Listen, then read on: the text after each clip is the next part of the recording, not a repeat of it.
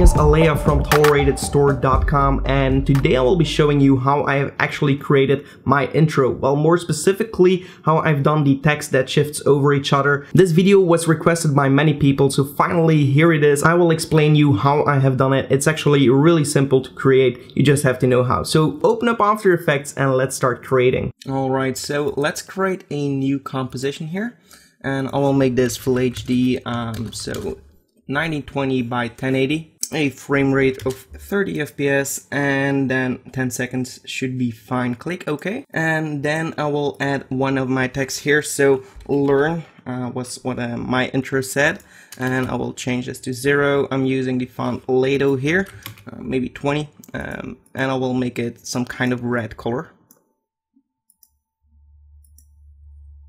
Okay make it a little bit bigger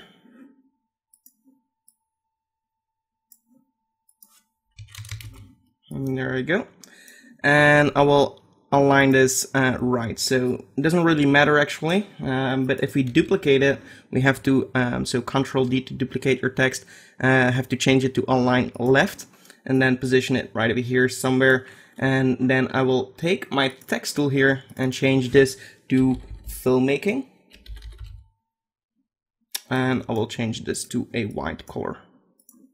And what I will do now is hit enter and actually above that, um, not sure what I'm all saying. So uh, learn motion graphics, visual effects, filmmaking, and much more. And there we go. I'll position this a little bit more to the right. And then it's just a uh, question of just pressing P on the keyboard. Um, so then go so to somewhere like if we zoom in here, let's move 10 frames forward. And again 10 frames so we have 20 frames forward. Then create a keyframe for the position. Move ahead 10 frames and move it up.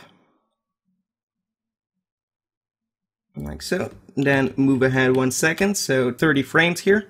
Uh, so that's three time on page down while holding shift and then uh, click on the keyframe here. So we make another keyframe move ahead 10 frames again and then move it and just hold shift while moving and try to do it visually correct. Um, if you want a guide you can press R uh, control R on the keyboard and drag one of these lines here so it's actually perfect. And you can zoom in and really align it perfectly so that's uh, how you could do that. Uh, so again one second uh, yeah one second forward. Click on the keyframe 10 frames forward and much more. And now if we'll check this out, so this is currently what we have. We'll actually move these keyframes also and just a little bit forwards like this. So we also have one second at the beginning. Okay. Then I will select my keyframes here, actually all of them, right click, Keyframe Assistance, Easy Ease. And then I will open up my graph editor. Right here we can see that it's looking like this. Um, I will actually select all of these and just drag these in and drag also the these in. So, so we get something like this. And this is just going to speed up um, the animation. So let's see what we have.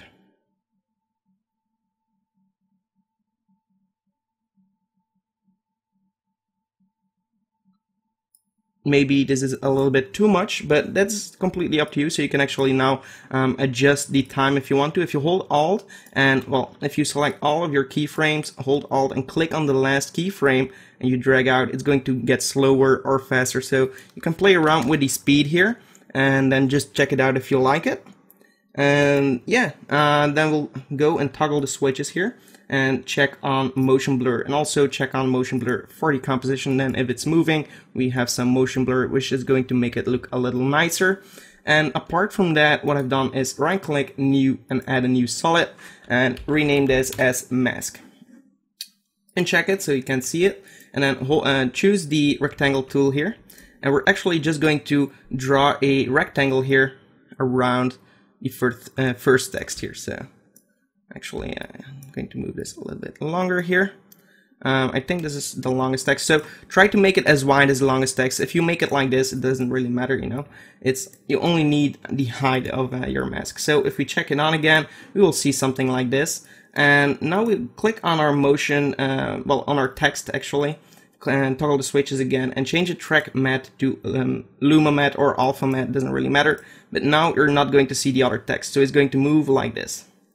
And you can see if we're moving here, that it gets cut off very, uh, yeah, very sharp. So you can press F on the keyboard for that mask layer here.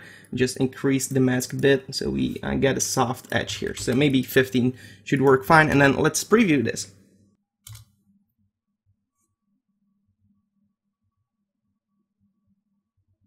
Alright, so that's it for this video. If you are looking for templates, presets, pre-made stock footage, or music, be sure to check out toleratedstore.com. We offer a great amount in these areas, so, so if you are looking for something related to this, be sure to check out our website. And yeah, apart from that, if you enjoyed this tutorial, give it a like, also subscribe to the channel for more, and yeah, thank you so much for watching, goodbye.